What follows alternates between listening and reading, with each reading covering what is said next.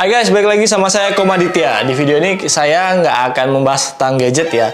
Soalnya saya udah pensiun jadi gadget reviewer. Very false. Hari ini kita akan nge- ngebahas tas. Hah? Tas? Iya tas, tapi tentunya tas bukan sembarang tas karena saya akan membahas ini tas-tas yang lagi beredar di pasaran yang kayaknya ada beberapa yang kita akan sesuaikan dengan kebutuhan dan budget kalian. Apakah pilihan jatuh kepada brand-brand yang terkenal atau brand-brand lokal kebanggaan Indonesia? Intro.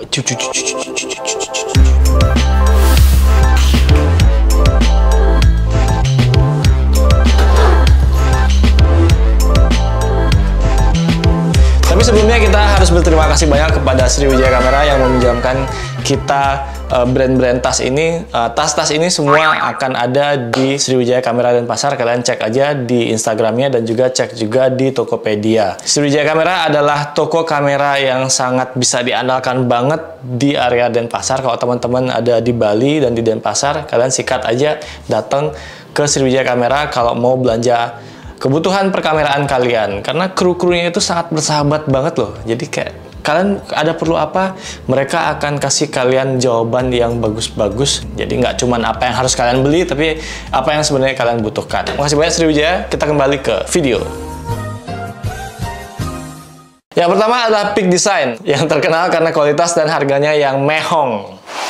Mahal tapi di sini saya memegang Peak Design Everyday Sling versi 2. Ini 6 liter, warnanya itu abu-abu. Jadi tapi ada warna yang lain, ada yang biru dan ada yang hitam. Salah satu yang terbaik dari Peak Design ini adalah Quick Adjusting Padded Shoulder Strap. Jadi shoulder strapnya ini bisa menyesuaikan panjangnya itu dengan cepat. Jadi kita kayak cuman pakai klik gitu aja langsung bisa dipanjang pendekin. Pokoknya cepat lah, hanya dengan satu tangan aja. Oke banget itu.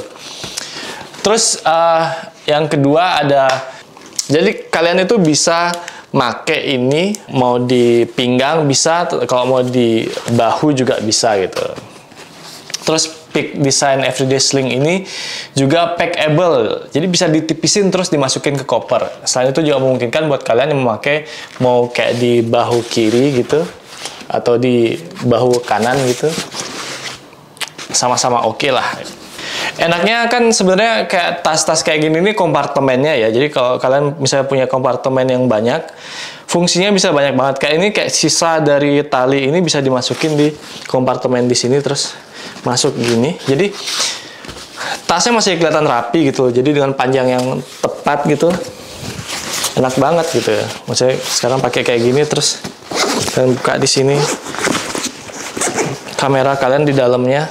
Jadi oke juga dalamannya juga bahannya juga luar biasa. Mereka juga punya mereka juga punya flex fold divider yang memungkinkan penggunaan ruang secara maksimal. Karena dapat kayak ngasih penyesuaian yang bagus banget dan proteksi yang luar biasa. Ini di dalam nih uh, enaknya foldnya ini bisa di fold kayak gini terus bisa juga kalau misalkan naruh lensa di bawahnya oke lensa di atasnya juga oke jadi kayak bisa bawa dua lensa kecil gitu loh dan itu sangat apa ya thoughtful banget lah gitu kalau kita lihat nih dari spesifikasinya uh, desain dari Everyday Sling ini memang compact banget ya dengan apa yang bisa diisi. Jadi bisa masukin dua kamera, juga ada beberapa lensa. Terus ada juga kompartemen-kompartemen yang apik sekali untuk aksesoris seperti baterai dan juga bisa pasang tripod gitu di bawahnya gitu. Cuman emang harus ada tambahannya juga gitu.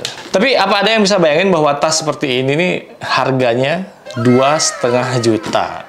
Worth it kah?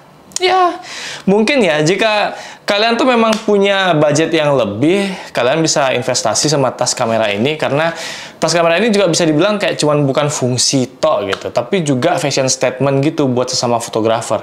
Dan kelasnya juga kayak ya berasa banget sih gitu. Berasa profesionalnya dan juga berasa banget di kantong.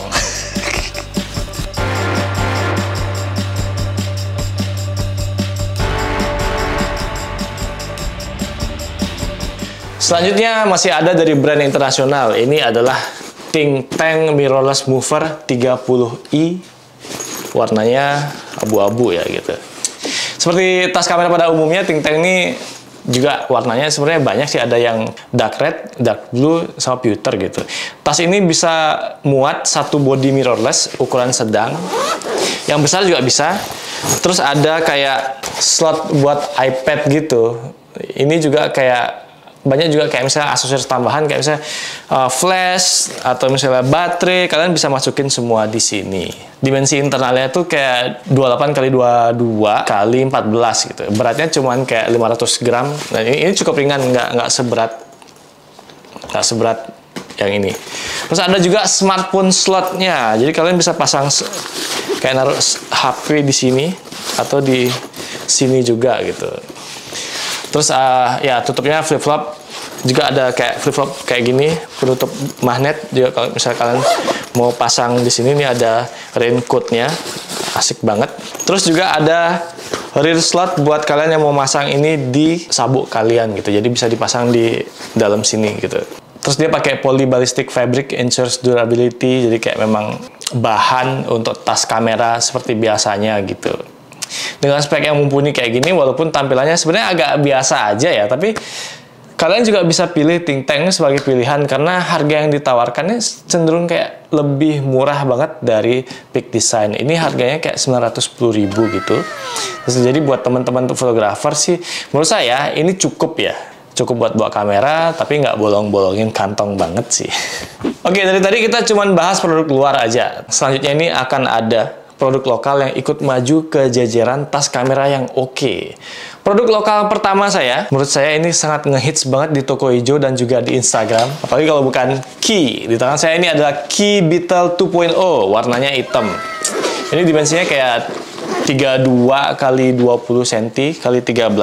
Uh, bahannya itu polyester Cordura fabric, Torin 210 Urex lining fabric polyfoam apa kalian maksudnya. Jadi zippernya ini sebenarnya bisa dibilang asik banget gitu ya. Dan Beetle Edition 2.0 ini, ini tas kamera terbaru dari Key dan serta kapasitasnya yang luar biasa bisa nampung sampai dengan tiga body kamera sekaligus.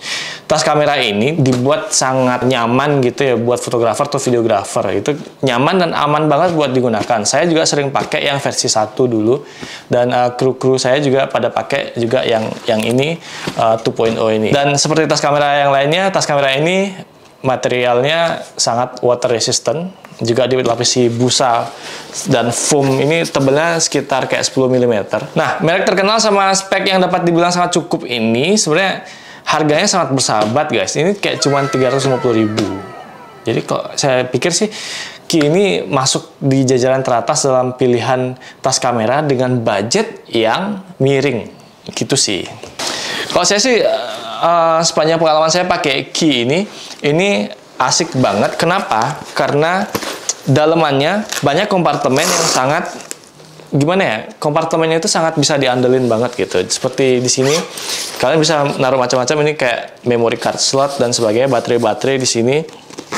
Terus juga ada kalian bisa naruh tablet di sini. Jadi di sini ada tempat buat tabletnya gitu. Dan dividernya ini bisa masuk kayak saya bilang tadi ada tiga body kamera atau misalnya satu body kamera dan dua lensa. Di sisi-sisi kirinya di bagian dalam gitu ini ada slot-slot yang bagus banget kalau kalian mau sama naruh uang kecil terus, terus kayak memory card, baterai dan sebagainya. Terus di bawahnya ada kompartemen yang bagus banget buat raincoat. Jadi raincoat ini ya saya pikir sudah seharusnya jadi fitur yang luar biasa buat uh, tas-tas uh, kamera uh, seharga key ini ya. Terus di depannya juga ada uh, resleting dan dalamnya kalian bisa misalnya mau naruh kayak kacamata atau misalnya uh, HP ini cukup banget. Dan di bawahnya ada di tali-tali ini kalian bisa masukin kayak tripod gitu.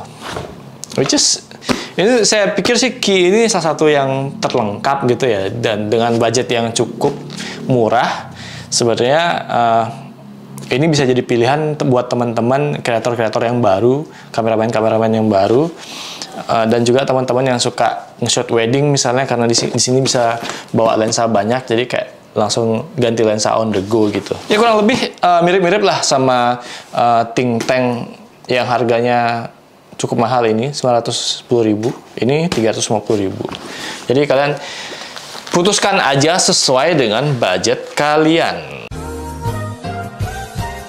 Oke, terakhir nih masih ada brand lokal baru. Ini namanya Max M-A-X-X.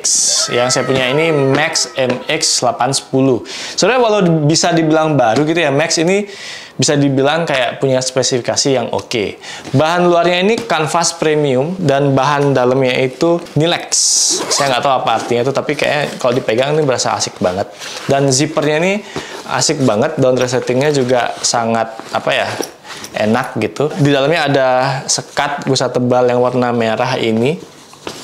Terus juga di depannya kita bisa masukin rain cover. Nih. Oke, kapasitas dari tas ini juga cukup buat nampung satu DSLR. Terus ada kayak satu mirror atau satu mirrorless bisa juga uh, satu lensa, satu flash, terus aksesoris dan charger atau baterai gitu lah. Ini di di atasnya juga ada kompartemen-kompartemen yang enak dan cukup buat masukin memory card gitu. Nah, Max sendiri ini punya harga yang paling terjangkau ya. Sebenarnya kayak hanya cuman 320.000 jadi ini bisa jadi opsi budget oriented banget dengan kualitas dan kapasitas yang sebenarnya nggak kalah saing gitu ya. Cuman kalau menurut saya sih memang di sini dia memang terlihat kenapa dia yang paling murah gitu. Eh, waktu dipegang ini karena dia cuma pakai kanvas aja, agak lebih gampang basah gitu ya. Jadi uh, kalian hati-hati aja memakainya. Cuman kalau dari segi kapasitas ini bisa dibilang cukup bersaing juga dengan semua yang ada di sini sementara dia memang yang paling murah terus di dalamnya juga uh, memang mungkin agak kelihatan agak cepat kotor. Cuman sekali lagi buat saya dari segi budget yang paling murah tapi paling enak buat dipakai. Jadi buat teman-teman misalnya kayak yang baru belajar kamera terus kayak um, mau jalan-jalan traveling foto-foto ini tas kamera yang sangat asik banget buat kalian bawa gitu ya. Dan ya karena ada pegangannya gitu kalau di kalau di key itu dia pegangannya masih berusaha, berupa tali kayak gini. Sementara kalau di Max ini udah ada kayak semacam handle-nya gitu. Jadi lebih lebih enak dibawa. Dan di bawahnya juga ada tempat buat naruh tripod. Cuman sayang aja kompartemen uh, buat raincoat-nya ini masih kecampur sama kompartemen yang di depan gitu. Jadi nggak nggak spesifik di bawahnya kayak misalnya si ini key kan di bawahnya ada uh, ada resleting gitu satu kompartemen khusus buat raincoat. Oke, okay, uh, sebenarnya kalau bicara uh, kesimpulan, ini semua masalah budget aja gitu ya. Jadi kalau saya pikir tas-tas ini bisa dipilih bukan berdasarkan uh, gengsi aja gitu, tapi udah budget aja gitu. Kalau kalian, kalian memang punya budget tinggi dan teman-teman misalnya udah profesional, udah menghasilkan dari foto-foto kalian, dari video-video kalian. Peak Design ini adalah salah satu yang saya rekomendasikan buat kalian. Jadi ya mungkin sisihkan aja dari penghasilan kalian, misalnya dari beberapa kali moto itu kalian bisa lah beli ini. Harganya dua setengah juta, cuman memang worth it banget untuk harganya karena dari, segi desain juga dari segi uh, pemakaian terus ketahanan saya pikir dia ya salah satu yang paling uh, bagus gitu ya. Jadi untuk harganya saya pikir mungkin agak sedikit lebih mahal tapi worth it buat saya. Sementara kayak Ting Tang ini bisa dibilang kayak merek yang terkenal banget di kalangan fotografer gitu ya. Jadi kalau kalian memang teman-teman kalian kayak fotografer-fotografer yang bener-bener fotografer banget gitu. Tas ini salah satu yang biasanya dipilih sama mereka gitu. Mungkin ada juga kayak merek lain kayak Manfrotto, uh, Vanguard yang kayak gitu. Ini Ting Tang lah sebangsa sebangsa bangsanya mereka gitu. Jadi nggak nggak kelihatan gaul-gaul banget, tapi sangat teknikal gitulah kalau dari saya sendiri sih agak-agak agak kurang ya. Nggak masuk lah di saya gitu. Saya lebih baik beli yang kayak key ini uh, karena bentuknya yang cukup gaul dan sesuai namanya kayak Beetle gitu dan nggak intimidatif gitulah. Jadi orang-orang juga nggak ngelihat kayak ini sebuah tas kamera yang benar-benar tas kamera banget gitu. Jadi ini bisa dipakai kayak kru saya deh. Nah ini bahkan dia pakai buat sehari-hari buat jalan-jalan. Dia jalan-jalan bawa iPadnya dia terus di dalamnya isi barang-barangnya dia kayak kacamata dan sebagainya. Ini dipakai aja buat jalan-jalan sama dia. Sama juga kayak Max ini juga sebenarnya tas kamera yang uh, ngebunglon gitu sama tas gaul gitu. Ini lebih kelihatan gaul gitu. Cuman dia agak bulat dan kelihatan banget. Lebih kelihatan seperti tas kamera, cuman bahannya saya pikir kalau dibandingkan sama key dan apalagi yang lainnya bahannya memang tidak terlalu uh, kelihatan mewah gitu. Jadi baik lagi sekarang ke kebutuhan teman-teman semua dan gengsi nggak usah dikasih makan-makan banget gitu. Saya pikir fungsi harus lebih menang daripada gengsi kalian. Jadi yang saya rekomendasikan sih Big Design sama Key ini. Gitu. Ini di Tokopedia sangat merajai dan juga di Instagram sering banget ada iklannya. Mungkin kalian semua udah tahu lebih dulu daripada saya. Dan buat teman-teman yang baru belajar-belajar gitu, uh, ya Max ini sangat masuk di rekomendasi saya. Oke okay guys, segitu aja. Makasih banyak buat teman-teman yang udah lihat saya review keempat tas ini dan jangan lupa buat subscribe, like, dan komen. Sampai ketemu di video berikutnya. Bye.